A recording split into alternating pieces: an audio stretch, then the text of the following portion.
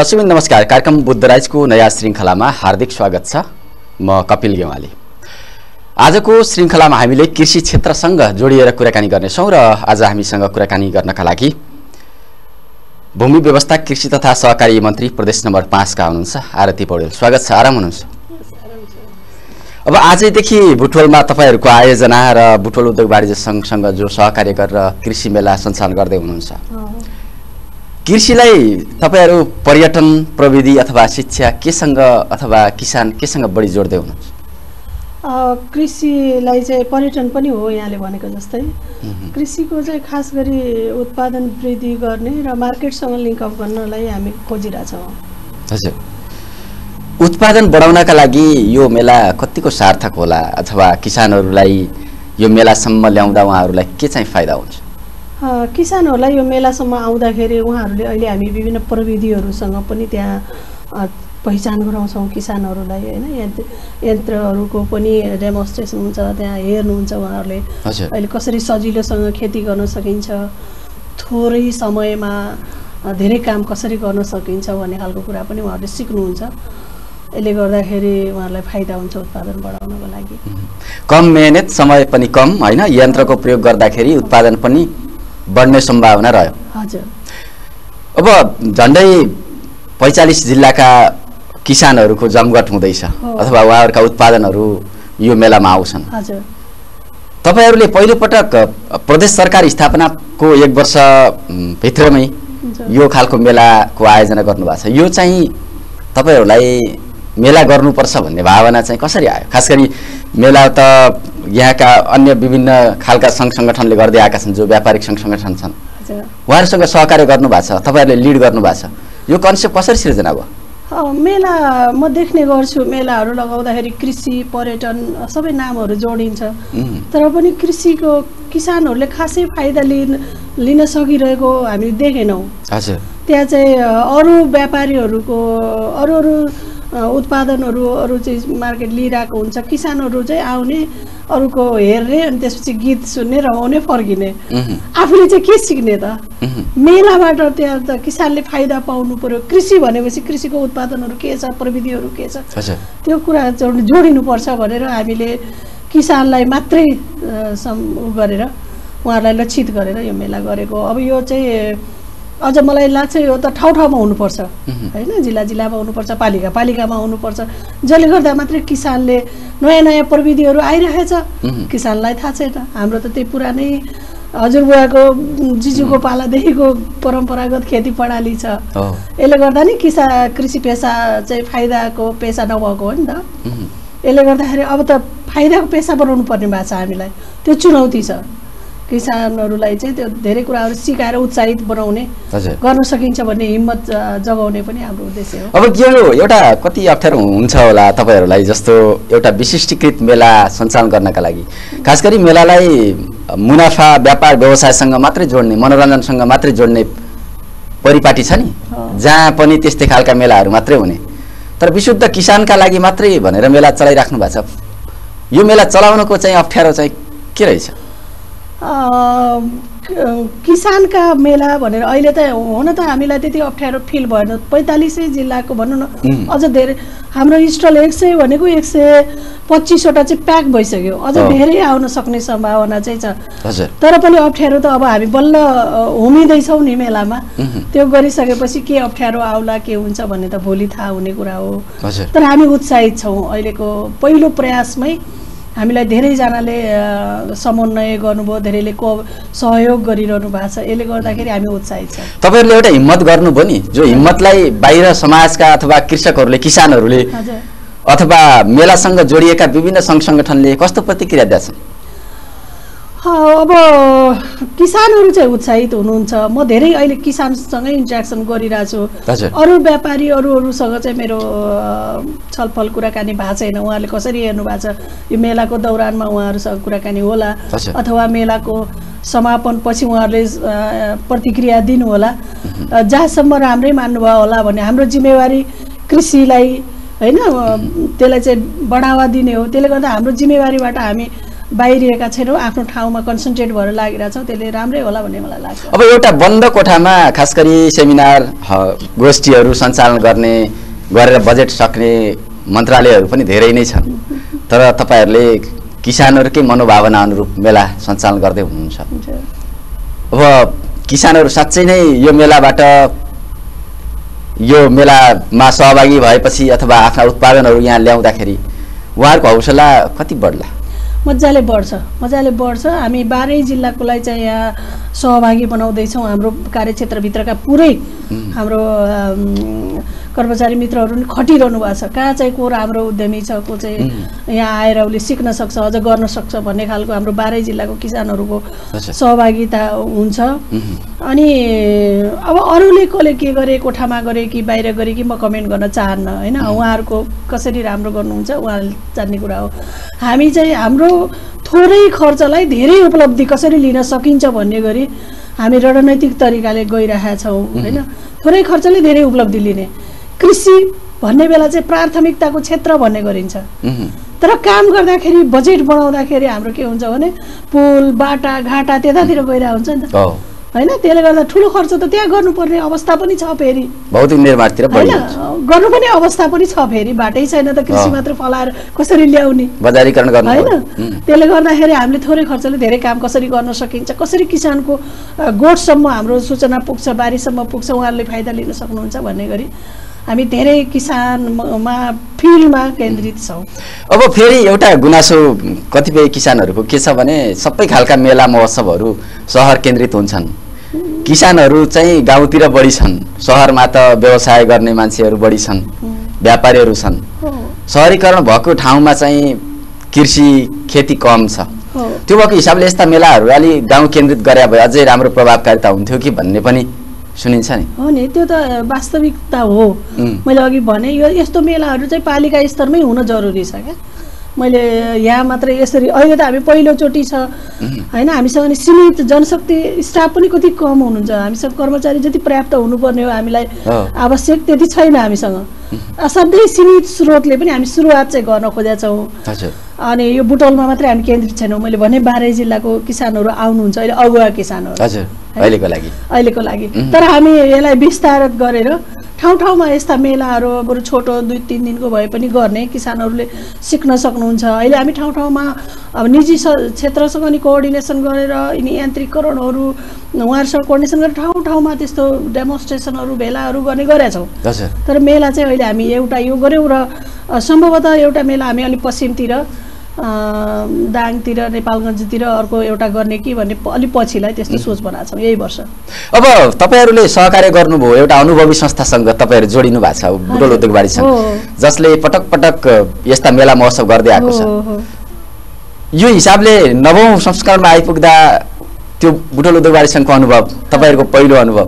तपाईँहरूलाई कति सजिलो भएको छ धेरै सजिलो। भयो धेरै सजिलो भयो हामीलाई मात्रै अझ धेरै गाह्रो हुन्थ्यो। उहाँहरूले कृषिमै मेला पनि लगाएको अनुभव रहेछ। उहाँहरूसँग। होइन प्राङ्गारिक कृषि मेलाहरू लगाउनु भएको रहेछ। सुरुमा चाहिँ उहाँहरूको प्रस्ताव आउँदाखेरि ओहो के हुने हो? भन्ने मलाई कन्फ्युजन थियो मह्म। अलिकति हुने हो कि होइन कि व्यापारीहरूले त व्यापारको मात्रै कुरा गर्छन् कि भन्ने लागेको थियो। तर उहाँहरू यति सिन्सियर हुनुहुँदो रहेछ। मलाई असाध्यै खुसी लाग्यो। राम्रो टिमसँग हामीले सङ्गत गरेछौँ सहकार्य गरेछौँ भनेर म एकदमै खुसी छु। उहाँहरूले असाध्यै खटेर गर्नुभएको छ।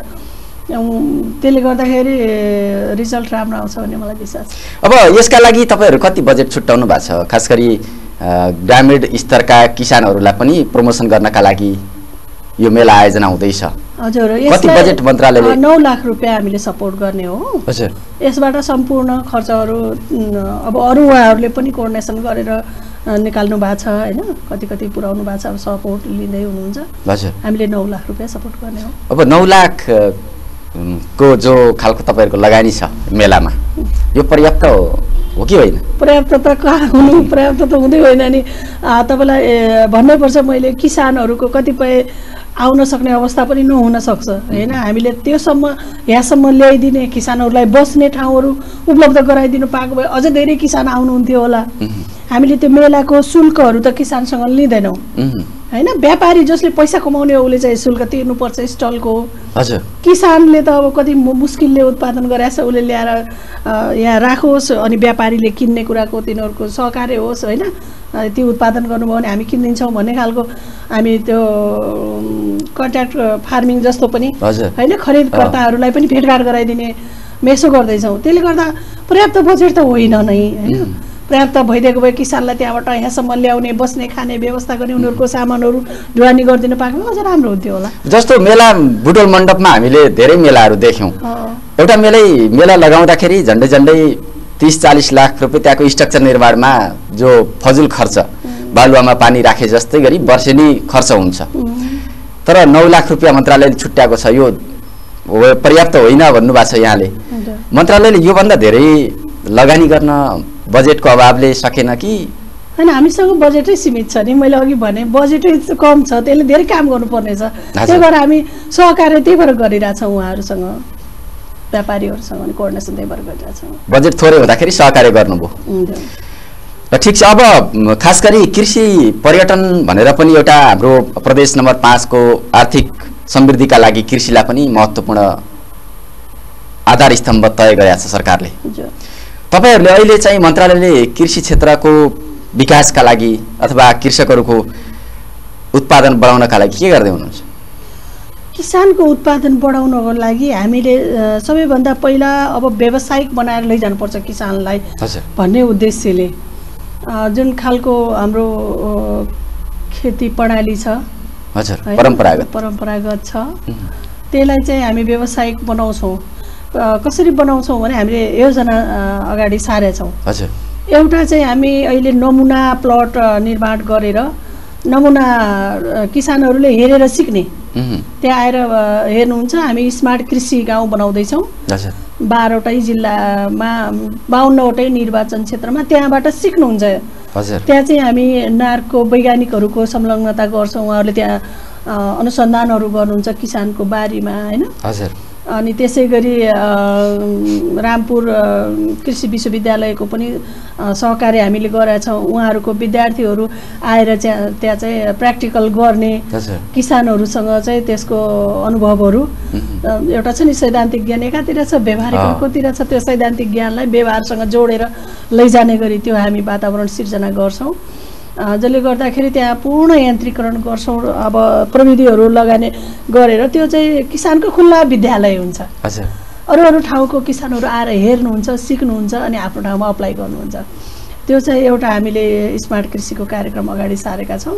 हजुर। र अरू चाहिँ हामी विद्यार्थीहरूलाई पनि अब धेरैभन्दा धेरै उहाँहरूको सिपलाई चाहिँ व्यवहारमा कार्यान्वयन गर्ने गरी कृषि विद्यालय कृषि विषय पढाइरहेको विद्यालयहरू हजुर। यही पक्लिया क्याम्पससँग पनि हामीले कोअर्डिनेसन गरेका छौँ। त्यहाँको विद्यार्थीहरूले गर्नै पर्यो काम। होइन? विद्यार्थीहरू चाहिँ वैज्ञा अब आधुनिक कृषक। अहिलेको भनेर उहाँहरूलाई चाहिँ प्लट निर्माण गरेर ठाउँमा अब सीमित छ छन त धेरै छैन तर. तिन चार ठाउँमा कति सकिन्छ दुई तिन ठाउँमा।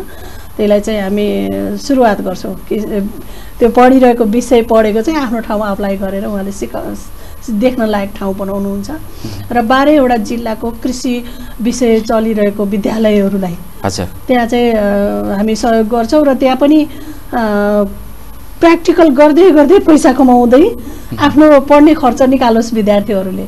अहिले चाहिँ पढ्ने खर्च निकालोस् र उसलाई त्यो आत्मविश्वास होस् कि कृषिमा हुन्छ भन्ने खालको यो चाहिँ जागिरै खोज्न दुगुर्ने भन्दा पनि म उद्यमी बन्छु भनेर उसलाई चाहिँ त्यो तयार गर्दै ल्याउने र भोलि ऊ उद्यमी होस् अरूलाई पनि रोजगार दिन सकोस् भन्ने उद्देश्यले बाह्रै जिल्लाको एउटा जिल्लाको एउटा विद्यालय छानेर पनि हामी विद्यालय मार्फत पनि हामी कृषिलाई व्यवसायिकरण गर्न जाँदैछौँ।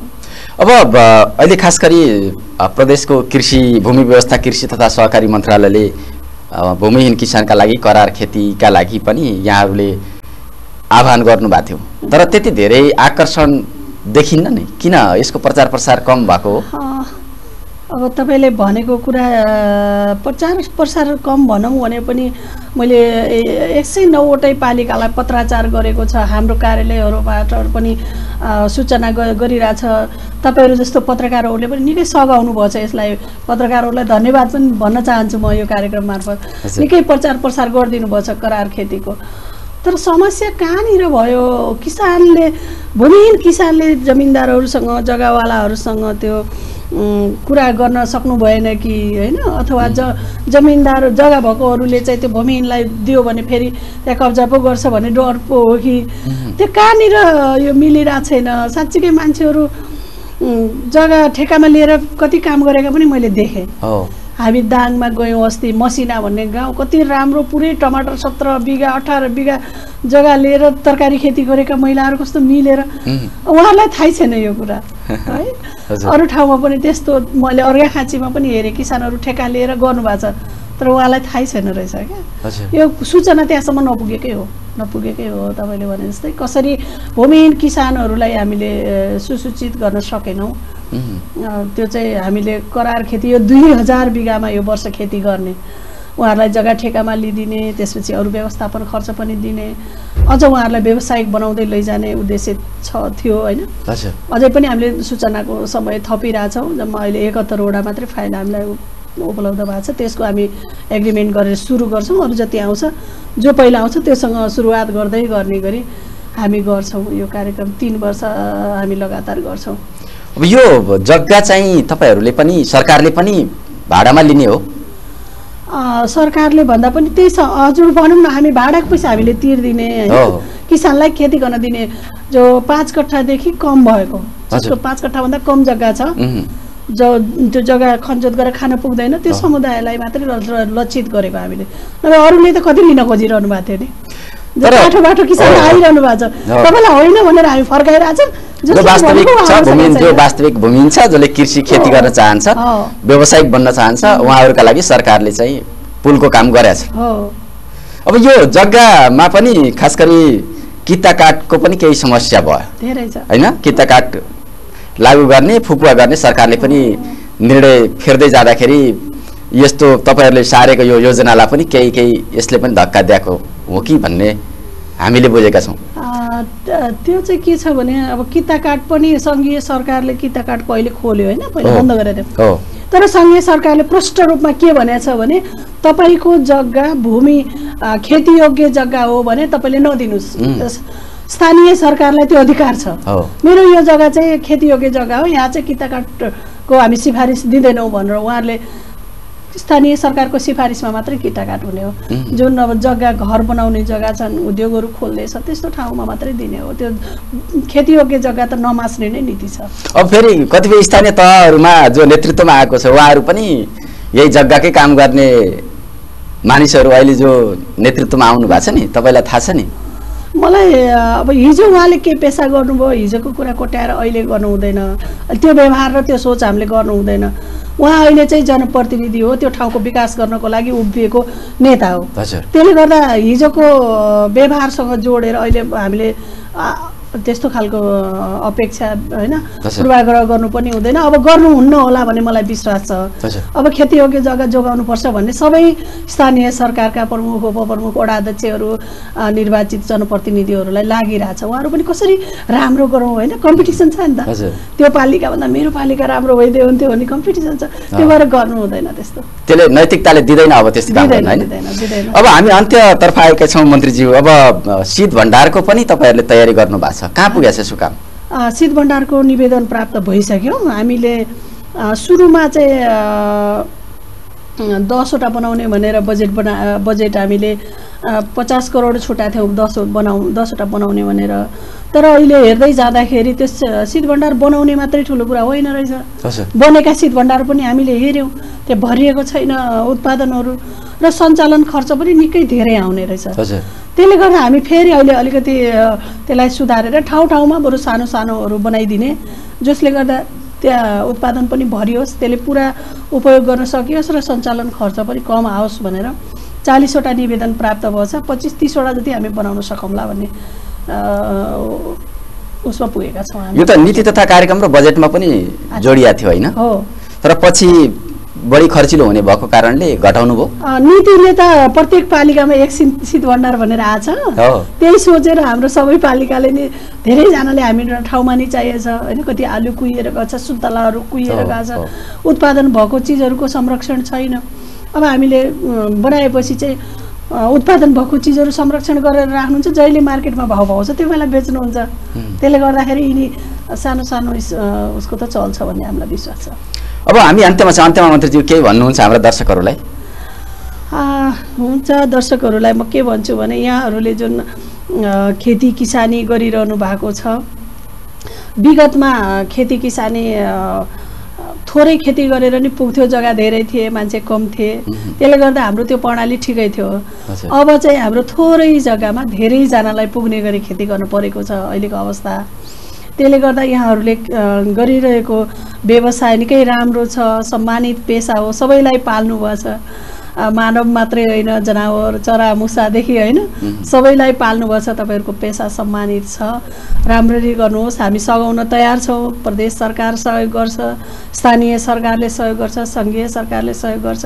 हामी ठाउँ ठाउँमा किसानहरूको उत्पादन खरिद गर्ने गरी सहकारी बजार बनाएर यो वर्षदेखि सुरुवात गर्दैछौँ। किसानको उत्पादनहरू खेर नजाओस् उपभोक्तासम्म सहज जान सकोस् सही मूल्यमा गुणस्तरीय चिजहरू किन्न सक्नुहोस् किसानका पनि उत्पादनले सही मूल्य पाओस् भनेर हामी जोडेर धेरै कुराहरू जोडेर लैजाँदैछौँ। किसान दाजुभाइ दिदीबहिनीहरूलाई आफ्नो ठाउँमा मजाले काम गर्नुभयो। हजुरहरूले गरेको कामले देशले समृद्धि प्राप्त गर्नलाई सहयोग पुग्छ। विगतमा जसरी सहयोग गर्नुभयो त्यसै गरी यो समृद्धिको यात्रामा सहयोग गर्न अपिल पनि गर्दछु। उहाँहरूको पेसालाई सम्मान गर्छु। हस् धन्यवाद समय समाजका लागि मन्त्रीज्यू दर्शकहरू आज हामीले बुद्धराजमा रहेर कुराकानी गऱ्यौँ भूमि व्यवस्था कृषि तथा सहकारी मन्त्री आरती पौडेलसँग। आजको कुराकानी कस्तो रह्यो? केही प्रतिक्रिया भएको खण्डमा हामीलाई पठाउनु होला आजका लागि समय सकिएको छ। कपिल गेवालीलाई पनि आगे दिनुहोस्। नमस्ते।